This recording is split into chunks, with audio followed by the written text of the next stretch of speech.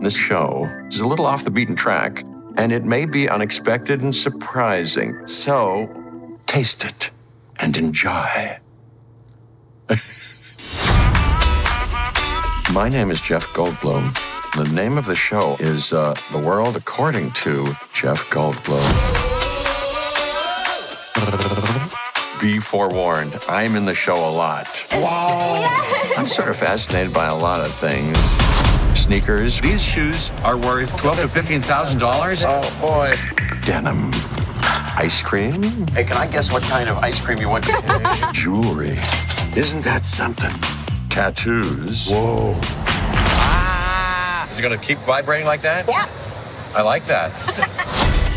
And then every once in a while I break into song.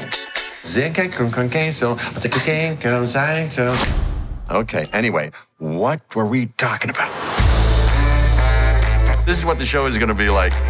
So if any of this tempts you or wearies you, you can make a decision right here.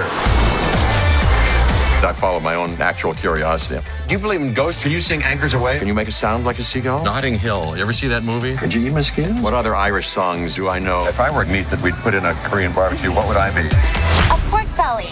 No, no, no, no, no, no, not because you have a belly. I'm not here to be uh, didactic or professorial in any way. It's like a fun house. I know nothing. That's the premise. I'm a humble student.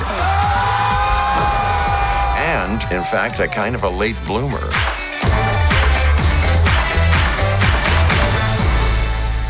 A late gold bloomer.